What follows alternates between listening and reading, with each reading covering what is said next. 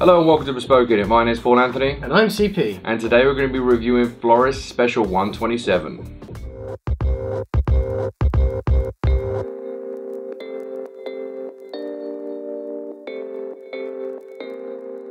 So, Charles Philippe, in our recent uh, head-to-head review of Winston Churchill's fragrances between this Floris Special 127 and the Penhaligon's Blenheim Bouquet, we thought we'd do a specific review on this fragrance.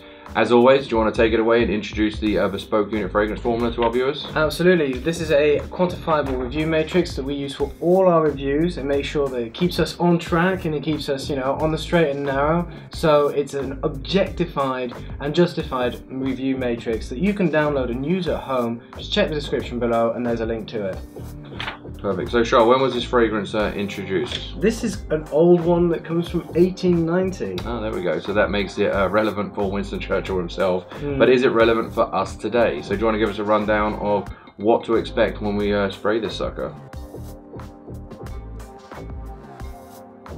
Absolutely, give us a bit. Beam. There we go. So this is a citrusy, this is a citrus aromatic. So expect citrus and aromatics, Sure. which means that the citrus isn't too sharp, isn't too zesty, and it's kind of complemented by this herbaceous, uh, Yeah. these herbaceous notes.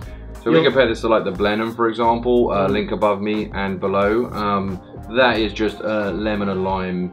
You, Yeah. you, you've sprayed Sprite on you, basically. you know, it's a little bit more refined than that, but yes, yes in a nutshell. But, but this is um, this has definitely got more depth, more character. Mm. citrusy but herbaceous, as you say, which definitely and you know when we have the dry down, you definitely get some some depth and musk in there as well. Oh, yeah. So Well, in the in the top notes, in the head, you have bergamot, so you have your citrus, but you also have lavender, which adds this kind of floral, uh, floral aromatic to it, as well as petit grain.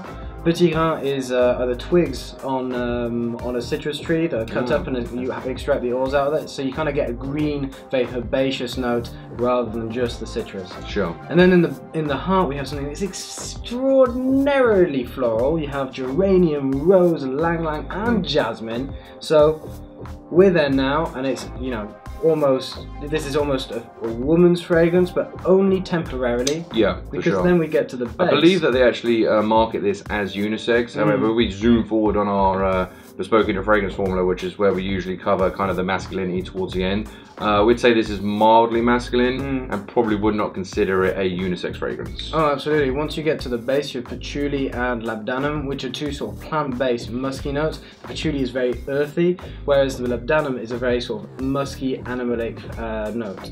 Sure. So seasonality, what time of year can you uh, wear this fragrance? Oh, this is an absolute spring summer fragrance, I'd say. sure, I mean, agree, you- totally agree. If you look at all these uh, green, aromatic, herbaceous notes, you couldn't wear that in the winter or the autumn. Sure. And how are we doing on uh, performance, sillage, projection, longevity? Uh, you know this fragrance more than I do. Um, I'd say from having tried it this time and yesterday, Sure. it lasts, but not for very long. We have a sillage which is kind of tight, projection is kind of tight. Sure. But how many hours do you get out of it? I mean, I'd say I get a good half a day, maybe plus, um, which is way more than we, we, I do from Blenheim Bouquet, but I think there are other historical fragrances that perform better. For me, it's like an office fragrance, daytime fragrance.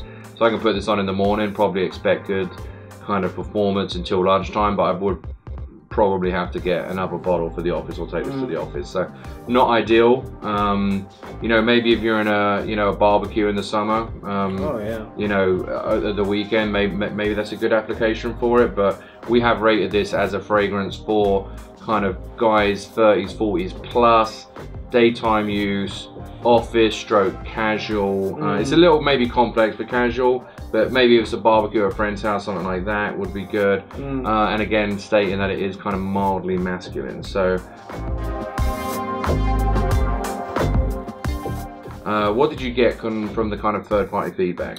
Uh, I got kind of a lot. It kind of all over the place. There was no general consensus. I was getting things of people, some people that you heard from really liked it. Yeah, some people loved it. Some people thought it was a feminine fragrance. Some people Yeah. thought it was kind of masculine, a little bit musky. Again, depending on the time of the dry down. you Yeah, know. exactly. Uh, I personally like it on my skin. My girlfriend likes it on my skin. Uh, are there better spring summer options? Uh, Creed Aventus, uh, yes. You Mm. know, um, has this got a great story to it? It sure does. It was Mm. worn by uh, probably one of the greatest men in British history, Winston Churchill, um, from a great London uh, house, Floris. If you're not aware of it, I believe they're on the seventh or eighth generation of family ownership um, in London on Jermyn Street still. So that's actually a fantastic story. Not to mention the Churchill connection. Not to mention the fact it's well over 100 years old. Um, that all has um, you know stuff going for it. Price point wise, what are we looking at? Looking about 135 bucks for 3.4 ounces, 100 mil. 100 mil. I mean, that does make it expensive. Um, I know you. I bought this directly from Floris in London, so I ended up paying that in in pounds. I can't remember. It may have been like 90 pounds, 95 pounds. Uh, you can find this online for around 80 to 90, sometimes 100 bucks. Links below on where to buy this. So yeah, that's kind of where we're looking at. So in your opinion, is this relevant and wearable today, Charles?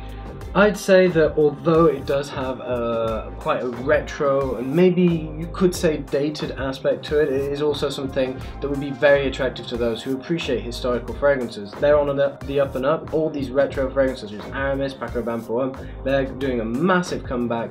So I'd say this is well among uh, a firm favourite for those who enjoy historical fragrances. Sure. I, I own this fragrance. I wear this fragrance in the summer. I'm 32 years old right now. I still think it's relevant for me, uh, even though I'm a fragrance head. Um, you know, this is an, a nice alternative for the summer. It's not in my daily rotation, but as I say, on the odd occasion, I want to mix it up, use something a little different, have that kind of historical connection. I think it's great. If it's the only spring summer fragrance you're going to buy, probably say no. If you're looking to add a couple more to the collection, maybe you like London, maybe you like Churchill, maybe you like some of the uh, the notes that we've mentioned in here, then it's probably worth a shot. But if you're if you're buying it, um, you know, without smelling it, I'd say don't risk it. If you've got a small collection, maybe don't risk it again. Mm, and if you'd like to try something similar, actually, this reminds me very much of Tabac Original. You can see a review of that here and here. Of course, it's much less refined, but it is low on the price point. Then again, the, the real value behind this is its history and, And it the is story. and the story behind Yeah. it. So, Sure. Well, guys, feel free to check out this review in line with the Blenheim Bouquet, which were both of Churchill's fragrances, along with a Creed fragrance that was a reformulation homage. As always, we really welcome your questions or comments below. Questions about this fragrance or comments on other fragrances you feel may uh, resemble this fragrance or feel this better, uh, as well as anything else in the Bespoke Unit universe. As always, please like this video if you did, and tickle that subscribe button. we're tickling today. Anyway, with that being said, my name is Paul Anthony, I'm CP. and from all of us here at Bespoke Unit, we'll see you next time. Take care.